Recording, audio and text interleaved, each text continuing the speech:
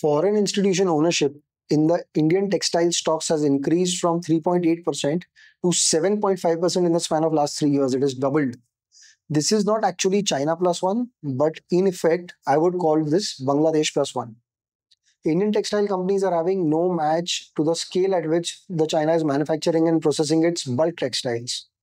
Bangladesh is more into stitching and finishing side, where cheap labor is involved and no other country can match the cost of Bangladeshi labor. With the recent unrest in Bangladesh, there is a huge opportunity for Indian textile mills as well as Indian garmenting industry snatching the market share which was once given to Bangladesh by India itself. Another reason for increased FII ownership in the Indian textile sector could be the reasonable valuation at which the textile stocks are available. It is very rare to see in these days in the Indian listed space stocks which are trading at price earning multiples of below 20. The textile stocks are at those valuations in and around those valuations at the moment.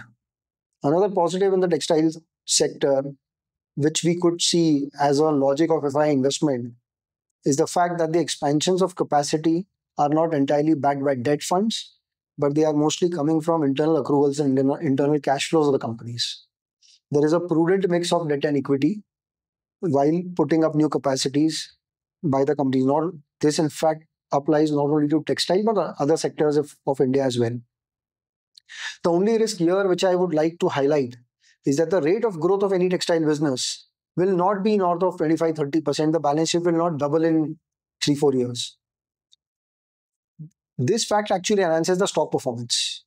But in the textile sector, the growth will be in the range of 15% or so, which would also be subject to the whims and fancies of the retail consumer market. And of course, the commodity prices, the cotton prices and the polymer prices, and so on and so forth. Although there is enough domestic demand on the consumer side of textiles and ready made garments, the export demand is subdued and will continue to be subdued in the next one or two years. So, while picking any textile stock, one has to be really selective and really have the understanding of the clear headwinds and the tailwinds in the sector.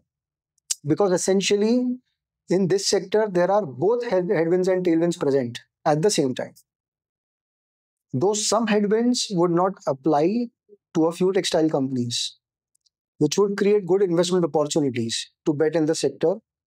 Now it is on our skill to identify the companies where there are tailwinds.